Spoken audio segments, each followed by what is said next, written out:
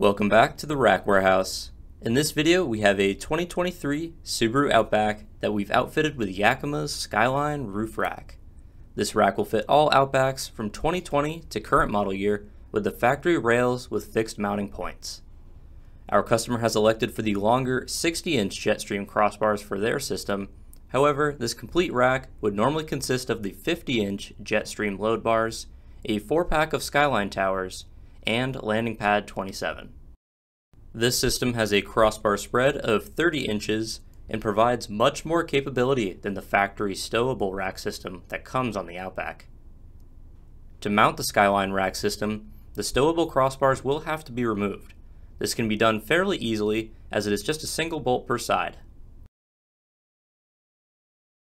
Yakima's landing pad 27 will mount in place of the stowable crossbars reusing the factory mounting locations. Two will be fastened with new bolts supplied with the landing pads. The other two will mount using a clever expansion block design that secures itself firmly in the factory cutouts in the rail as they are tightened.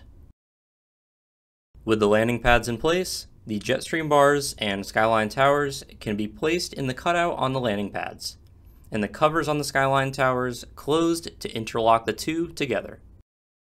A recommended accessory for this Skyline roof rack is the 4-pack of Yakima SKS lock cores. They install into the covers on the Skyline tower. When left unlocked, the towers will function as normal, allowing the rack to be easily removed by opening the covers.